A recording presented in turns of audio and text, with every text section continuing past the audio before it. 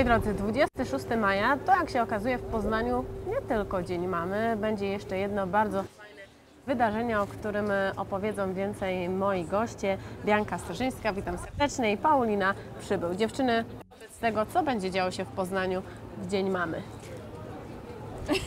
Dwie się rzuciły do odpowiedzi. E, Dobrze, 26 maja między godziną 11 a 14 tutaj na Starym Rynku Węgierzem odbędzie się event Bańki Mydlane.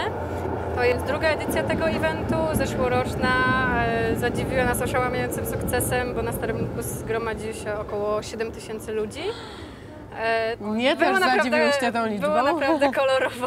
No spodziewaliśmy się mniejszej ilości. Na początku był to taki zryw studencki, miało być około 2000 osób. Mówimy, ach, będzie dobrze, pochodzimy nagle 7000 ludzi.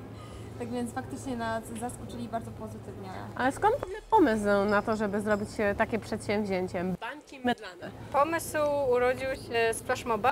E, To była akcja, na którą ja zostałam zaproszona przez koleżankę, która miała się odbywać równolegle w różnych miastach polskich, e, typu Kraków, Pozna- bez Poznania właśnie, Kraków, Rzeszów, Warszawa, Pole, coś ten deseń. I tak czytałam, patrzę, nie ma Poznania. No to się oburzyłam i stwierdziłam, że musimy zrobić wydarzenie dla Poznania, prawda? W momencie, kiedy utworzyłam wydarzenie, minął tydzień, może dwa, ja miałam potwierdzonych e, 7 tysięcy osób na portalu Facebook. No i wtedy zadzwonił do mnie mój przewodniczący ze Studenckiej Rady Miasta Poznania z pytaniem, czy moglibyśmy ten projekt podpiąć pod radę i zrobić z niego jakieś większe wydarzenie. No i, i tak to się I tak urodziło. się odbyło w ubiegłym roku. Tak, dokładnie. E, 7 tysięcy osób, które pojawiły się na Starym Rynku. I co się dzieje? Wszyscy puszczamy bańki mydlane? Nie tylko. Wszyscy puszczamy bańki, ale nie tylko, ponieważ to różne... Sprzęt rozumiem, że każdy przychodzi ze swoim Tak. sprzętem. Tak. ze Każdy ma- przynosi swoje manieczki. E, o 12 zaczynają bić koziołki. Koziołki wybiją i nagle zaczynamy wszyscy równo puszczać bańki wydane. Tak, tak się spodziewamy, że będzie to w tym roku wyglądało. Tak, i cały stary rynek po prostu na tych kolorowych bańkach unosi się aż do nieba. E, Wszyscy się śmieją, jest radośnie, ale poza samymi bańkami będą również różne gry i atrakcje, konkursy z nagrodami do, do wygrania. Konkursy sponsoruje Kupiec Poznański, sponsoruje B-Beauty, Salon Urody, tutaj też z Kupca, Oranżeria, e, Muzeum, kafe. Muzeum Cafe, dokładnie. Także jest sporo sponsorów. E, I rzeczywiście przewidujemy bardzo, bardzo dużo różnych atrakcji. Będą pokazy taneczne takiej profesjonalnej grupy. I także w tym roku mieliśmy pomysł, który wcielimy w życie. To będzie kącik malucha. O kąciku malucha opowie Paulina, bo Paulina jest tam konferencjerką. No właśnie, chciałam się zapytać, bo tak naprawdę bańki mydlane to chyba przede wszystkim atrakcja dla tych najmłodszych, prawda? Tak, aczkolwiek rok temu studenci bardzo fajnie się włączyli. Jedna osoba nawet przebrała się za Miss Baniek Mydlanych. No proszę, I jestem przyszła- ciekawa, jak wygląda ten strój. Cała po takiej bańkowej folii przyszła Takiej ubrana, bąbelkowej. taka bąbelkowej dokładnie i, się nam pokazała. Ale wracając, będzie strefa marucha faktycznie. E, będzie mieściła się między Arsenałem e, a, a, e, Myskaliną. a Myskaliną. Tak, jest to pasaż, pasaż kultury. Tam będą atrakcje dla dzieciaczków oraz dla ich rodziców. E, Tak więc na początek o godzinie 12.30 rozpoczniemy spektaklem Teatru Bloom pod tytułem Śpiewanki. E, pół godziny będzie mniej więcej trwał ten spektakl, następnie przewidujemy gry, zabawy, konkursy dla dzieciaczków. Tak, Jakie- Prawdopodobnie tam w kąciku malucha jeszcze wystąpi zespół z Domu Kultury Orle Gniazdo. E, To będzie troszeczkę wcześniej przed tymi śpiewankami, a przez cały czas będzie prowadziła animację czasu e, grupa z firmy Mokoloko. E, Ale kącik malucha to jest coś, co dopiero w tej edycji dołączyło Tak, do tego tak, wydarzenia. Tak. Poprzednio tego nie było. Dlaczego zdecydowałyście się, żeby troszkę powiększyć ten program? Po części ze względu na to, że to jest Dzień Matki, tak więc spodziewamy się, że przyjdą rodziny z dziećmi. Tak więc zastanawialiśmy się nad tym, jak to rozwiązać, żeby zarówno i studenci e, mieli z tego coś dla siebie i na swoim, że tak powiem, poziomie oraz dzieciaczki z, z rodzicami, którzy przyjdą, bo co by nie patrzeć, będzie to no, impreza rodzinna. Również, dlatego postanowiliśmy rozbić to na dwie sceny. W tym momencie więcej miejsca jakby, jakby na Starym Rynku będzie przeznaczonych dla osób, które przyjdą. E, I ten godzin malucha właśnie był kierowany e, centralnie pod Dzień Matki, po to, żeby przyszli rodzice z dziećmi i mogli sobie wspólnie spędzić czas, zobaczyć spektakl, zobaczyć po- pokazy taneczne, brać udział w konkursach z nagrodami, żeby ten dzień był dla nich dniem wyjątkowym. I ten Dzień Matki tak się zapamiętał właśnie jako taki dzień, który nie dość, że wiąże się z, z mamami, to również takim miłym akcentem, jaki jest puszczenie bajki medalek. Słyszałam, że również chcecie pobić rekord wszystkich uczestników, którzy w całej Polsce będą równocześnie E, puszczać Rekord będzie bańki. bity nieoficjalnie, ponieważ w tym roku nie stać nas na opłacenie rekordów Polski. Prawdopodobnie będziemy go bili oficjalnie w przyszłym roku, no ale teraz jest rzeczywiście to nieoficjalne bicie o godzinie 12, kiedy będą się trykały koziołki i wszyscy uczestnicy zaczną puszczać bańki do nieba. I myślę, że to będzie takie największe zbiorowisko ludzi puszczających bańki mydlane w ogóle w całej Polsce. Czy osoby, które e, chcą sobie popatrzeć, e, również e, mogą się pojawi- pojawić na Starym Rynku? Myślę, że takich Mhm. będzie Oczywiście. wiele, prawda? Tak, tak, tak. Jak najbardziej nie ma żadnego problemu, Znaczy- jest to impreza otwarta dla wszystkich tak naprawdę, a na miejscu do nabycia będą oczywiście bańki wydane, tak więc jeśli ktoś przyjdzie bez Jeśli komuś zabraknie, no właśnie, nie będzie zabraknie, wyposażenia, tak, będzie można nabyć na miejscu. Oczywiście. Jeśli chodzi jeszcze o konkursy, dodatkowe atrakcje, jakie konkursy są przewidziane? Konkursy są najróżniejsze. e, Będą konkursy od tych prostszych na jakąś tam największą bańkę albo najwięcej banieczek wydmuchanych na jednym wydechu, prawda? E, Ale będą również na przykład w kąciku malucha jakieś konkursy na narysowanie najpiękniejszej bańki, tak? Mam nadzieję, że uda nam się wypożyczyć sztalugi z fundacji ARS i wtedy dzieci będą mogły rysować. E, Szczerze mówiąc, konkursy są tak trochę owiane tajemnicą i nie chcę zdradzać tutaj za dużo. Zapraszamy serdecznie na to wydarzenie, żeby się po prostu samemu przekonać. Co się stanie, jeśli się okaże, że znowu pobiliście rekord? Jest, nie wyobrażam sobie tego, ale więcej niż 7 tysięcy osób, które puszczają bańki mydlane na Starym Rynku. Czy będzie kolejna edycja? Oczywiście, Kolejna edycja będzie na pewno. będzie na pewno. Dokładnie. Już mamy taki stały barter z firmą Tuban, e, z firmą z Jaworzna. Oni produkują płyn do dużych baniek. W zeszłym roku zasponsorowali nam 60 litrów, które ledwo starczyło. W tym roku mamy 250, więc nawet jeśli się komuś skończy ten płyn albo coś, to będą chodzić wolontariusze i rozlewali z tych karnistrów, prawda? Także myślę, że w tym roku, no ponieważ też ruszamy z akcją promocyjną na mieście. W zeszłym roku był tylko Facebook. e, W tym roku mamy też plakaty na mieście, roznosimy ulotki. Będziecie chodzić Także Dmuchać bańki mydlane i zachęcać dokładnie. Są wszystkich. takie akcje flashmobowe, takie krótkie, zachęcające też ludzi właśnie do przyjścia na Stary Rynek 26 maja. E, W tych godzinach 11-14 najwięcej myślę, że się będzie działo właśnie o 12, bo to jest taki punkt kulminacyjny razem z tymi koziołkami i z tym nieoficjalnym biciem rekordu. Czy chcecie, żeby ta y, kolejna edycja w przyszłym roku y, jeszcze bardziej się rozrosła? Chcecie zrobić z tego duże przedsięwzięcie, duży event, który ma być popularny w całym Poznaniu i w Wielkopolsce?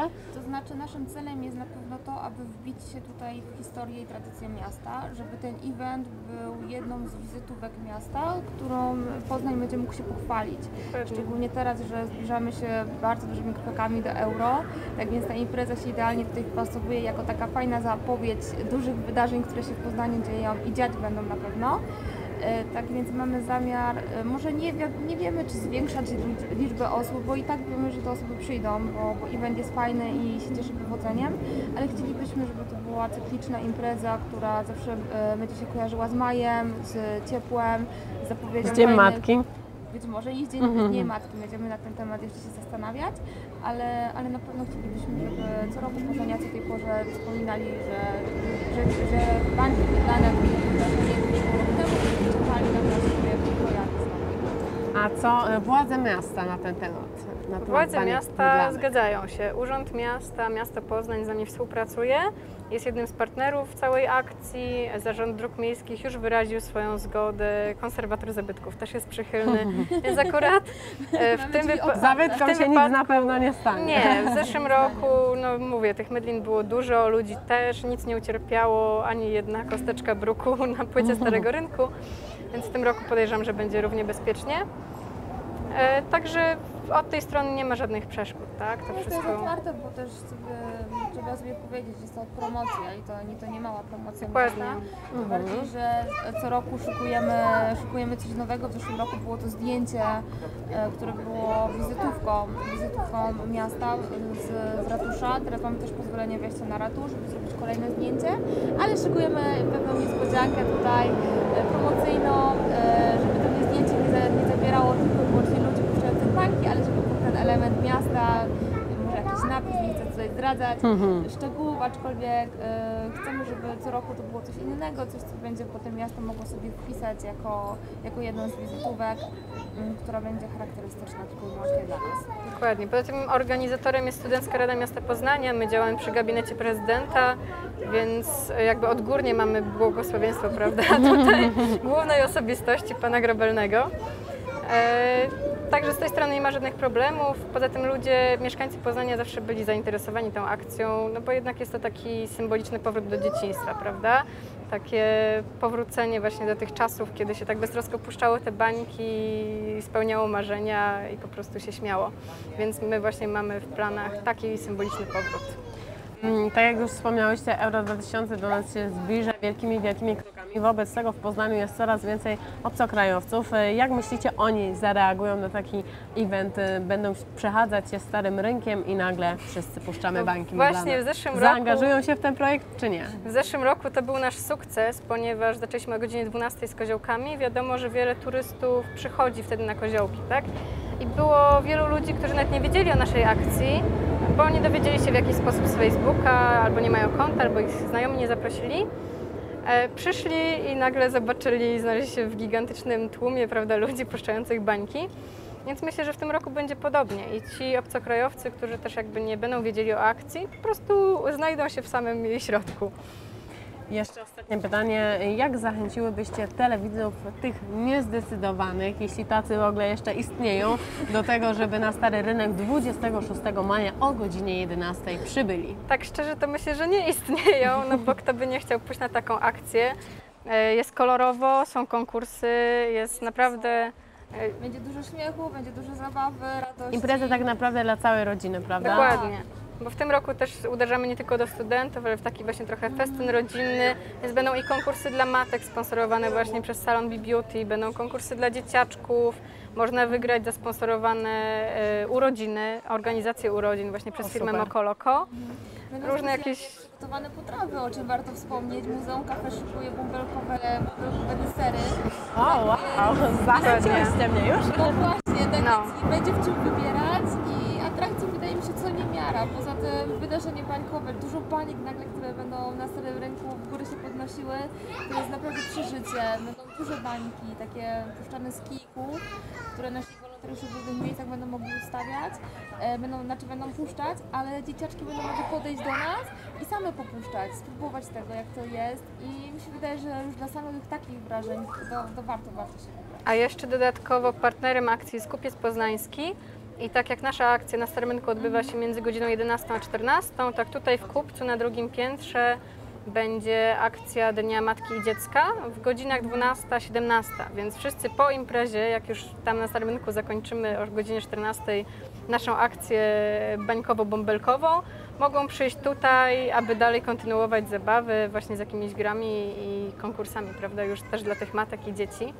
Więc myślę, że na pewno, jeśli będzie ładna pogoda, na co bardzo liczymy, Pogoda jak na razie według prognoz dopisuje. dokładnie, to myślę, że nie warto siedzieć w domu, tylko po prostu wybrać się na stary rynek i popuszczać z nami te bańki, a później odwiedzić kupca. Jesteśmy przekonani, że dzień będzie na pewno, na pewno pełen wrażeń. Dzień Matki, Zacznie, rozpoczęcie bańkami, zakończenie w Kupcu Poznańskim.